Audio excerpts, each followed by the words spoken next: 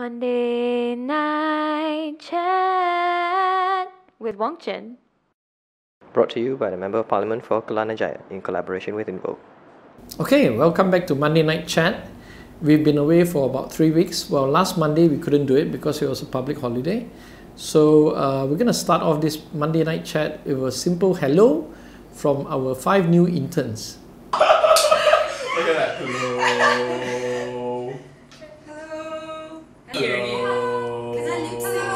I don't know what, what do I say now. I don't know what to say. Let me think. Hey, Ivan here, future lawyer with obsession with Mandarin callers and big eyebrows. Wait, is it correct in English? Yeah. Hey guys, I'm back. My name is Megan and I'm back. Look at my magical bok choy. oh my gosh, sorry. Hi, I'm Paul May. Um, I'm from HELP and I'm studying accounting and finance. And did you know that the number of heart attack victims is increased by 20% on Mondays? Wait, stop counting. Okay. Hi guys, I'm Leanne. Um, I'm a third year social science student from Monash, um, and I uh, I like banana leaf and uh, pineapples because I have a pineapple tattoo here. Hi, I'm Nadira and I'm studying international economics. And um, I'm sorry, Leanne, but I think chicken rice is a lot better than banana leaf. Okay, Q&A this week. We have three questions as usual. So the first question is what happened to my bulan kebajikan? That's a cheeky question from one of my readers. uh, it's a bit politically sensitive, so I don't, don't want to really uh, dwell on the matter. But essentially, bulan kebajikan is when we run for the entire month where we interview very poor people from the Desa Mentari area. And uh, last year we did about 750 applications and we uh, gave money to about 400 families, a very, very poor, hardcore, poor uh, families. So we were doing reasonably well in the first uh, six days of our Bulan Kebajikan, having uh, interviewed about 300 plus people. Unfortunately, we have to stop the program this year. We're trying to resolve the matter with the Selangor state government, hopefully that we can reinstate the matter as soon as possible. Uh, we do it in June because that's, that's when we get our summer interns come in. And at the moment, we have five interns, so they help out. Uh, what is important for us is that the interns get to interview poor people and be able to relate to their, their, their personal experience so that when they look at public policy making with us, they actually have a face uh, or they can actually identify what really the issues are in poverty in Malaysia. Okay, so stay tuned for that. I don't think I want to publicize the matter too much, but uh, just to uh, let you all know that you know we have no choice but to shut down Bulan Kebajikan this time. Okay, we move on to a controversial subject of tourism tax regarding Sarawak and the quarrel that the Sarawak government has with uh, Nazri. I know Nazri quite well. He's the he's the tourism minister. He's quite a nice, friendly guy in Parliament. Uh, but this matter clearly shows that Nazri did not talk to the Sarawak people. Yeah, I remember the debate for this tourism tax was done at about 3 a.m. in the morning on the last day just before Hadi Awang's bill. It was ridiculously late. Uh, there was nobody there. And there was like maybe 15 members of parliament left. Uh, but it's clear that Nazri did not do his homework to win the uh, stakeholder support from the Sarawak side. The other thing about this uh, development is I think it is a political um statement or political position uh, that Sarawak is telling the federal government that they are going to exercise greater autonomy in times to come and that the if without consulting Sarawak properly they were willing to say no to the federal government. Okay? Last issue the big story of the, of the last uh, week or so on the Felda matter the FGV fight between Zakaria and Isa Samad. To me it's very simple.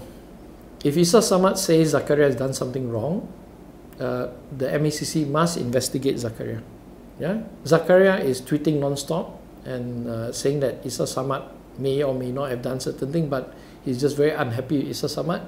Then the MACC must investigate Isa Samad as well.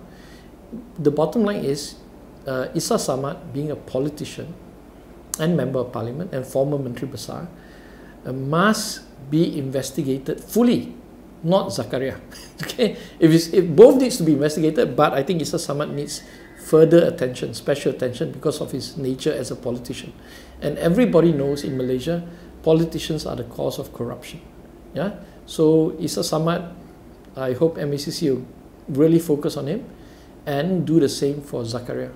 And hopefully by then, we will then get a clearer picture what really happened to FGV how did they lose 11 billion in valuation in the space of three four years. So that is the end for Q&A this week. Thank you. Okay for policy monday this week we're going to talk about the environment a subject that i don't really talk about usually yeah? So when we looked at the environmental issue we have to start with the recent news on the paris agreement with the american pulling out. Now first thing is we've got to congratulate our environment minister wan junaidi for expressing deep regret and deep concern about the pull-out by Donald Trump. Yeah, that is the right message that we need to send. Now, even having said that, the Paris Agreement, even though signed by 195 countries, is just is actually non-binding. It's not mandatory. It's actually voluntary. So even having said that we agree on voluntary basis, we may still not meet the targets, right? So when we look at the environmental issue, the biggest concern globally is really about the issue of climate change. Now, how do we deal with the environment as a country not fully developed and still developing like Malaysia? For Malaysia, there are two basic uh, areas where we have we have a lot of environmental issues, and this is with the NGOs and you know and to do with international trade, and that is to do with palm oil and also timber, right? When we look at palm oil, palm oil is the second most important industry in Malaysia. It provides half a million jobs uh, under FELDA, it has alleviated, uh, you know, rural poverty. It, it's FELDA alone with 112,000 settlers uh, has an impact, direct impact on a million of our people. It's very important. So for Malaysia on sustainability, we're pushing for Malaysian Sustainable Palm Oil, MSPO, to be a new international standard on sustainability. So the government is pushing forward that. I think the opposition is helping and urging the government to pick up pace and to make sure that the standards meets international standards. Now, the issue is similar to the issue of timber. Timber is run by selective logging. Sustainable, sustainable forestry requires a lot of uh, concession land so that we can go through a cycle system to log and then replace the log, so and so forth over a period of 30 to 60 years. That hasn't happened uh, if there's only the only remaining industry left is really in Sarawak, where the timber industry, it is less destructive by far compared to palm oil. But the issues are still the same. Both palm oil and, and timber have problems in the sense that the spread or the, of the economic benefits from these two environmentally destructive policies are not good enough. The social justice inequality issue uh, in Sarawak, in particular, in the timber industry, six families control the entire industry, and the wealth is not spread to the people. So, if we pursue environmentally unsound policies, the least we can do is make sure that the microeconomics sharing of the pie is done. So, we have to go back to the uh, drawing board in terms of policy making to ensure that while we defend both industries as essential to our economy, that the economic spread is done properly. Okay. Now the last issue on the environment, and this is a global pro problem. It's not really specific to Malaysia. Is the issue of consumption. The West consumes three to five times more than the developing countries. The developing countries, whether they're Indians or Chinese or Africans, are catching up and they're consuming more and more. What we need to do is to make sure that while they catch up and they have an economic right to consume a bit more, that the West must also reduce their consumption level.